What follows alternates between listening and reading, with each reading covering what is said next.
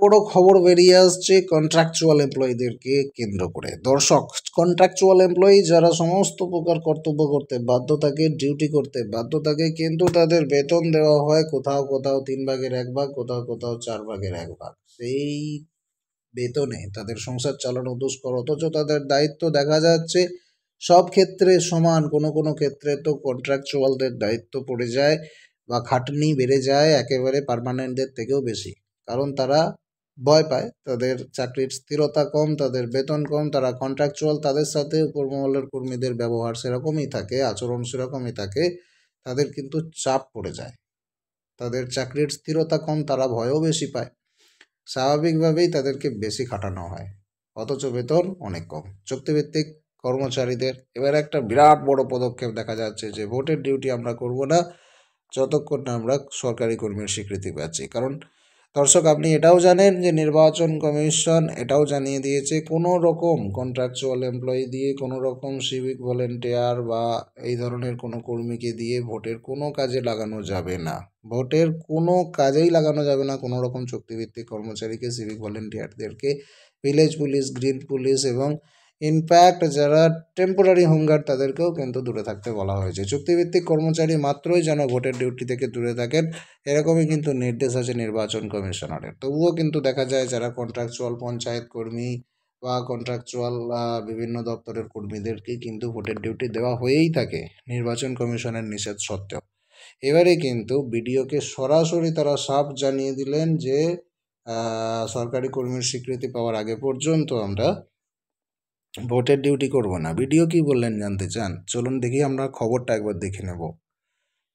দেখুন, একটা পশ্চিমবঙ্গের নামি দামি রিনাউন্ড নিউজ পেপার এটা লিখেছে এই দিন ডট ইন যেটা একদম টাটকা খবর। একুশে মার্চ, এই চার ঘণ্টা আগে পাবলিশ হয়েছে। বলছে, সরকারি কর্মীর স্বীকৃতি না দিলে ভোটের ডিউটি করব না বা ডিউটি নয়। ভিডিওকে সাফ জানিয়ে দিলেন ভাতারের চুক্তিভিত্তিক কর্মচারীরা। কি বলছে এখানে দেখুন একবার।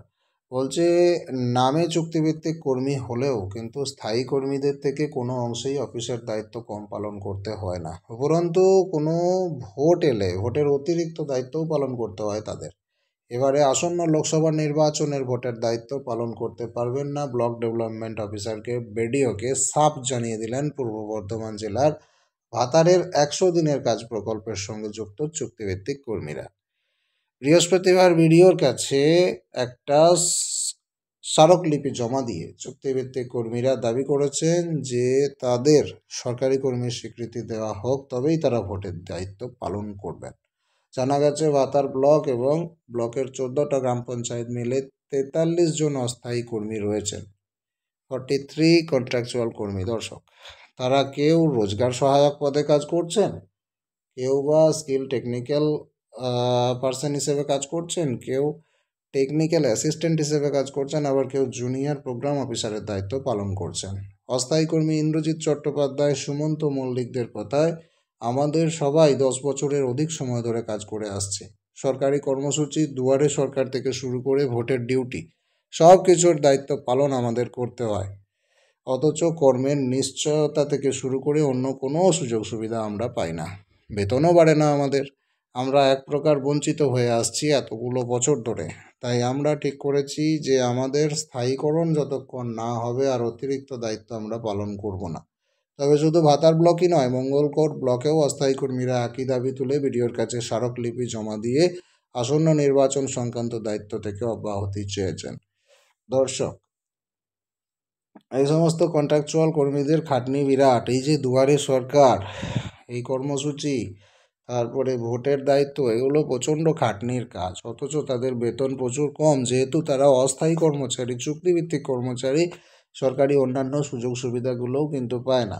দশ বারো বছর কাজ করেও চুক্তিভিত্তিক কর্মচারীদের যদি বেতন না বাড়ে, সেটা খুবই যন্ত্রণাদায়ক বিষয়। অবশ্যই আপনি আপনার মতামত কমেন্ট করে জানাবেন।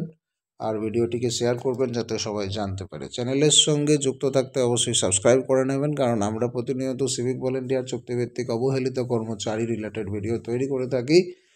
আপনার মতামত কমেন্টে অবশ্যই লিখবেন। ধন্যবাদ।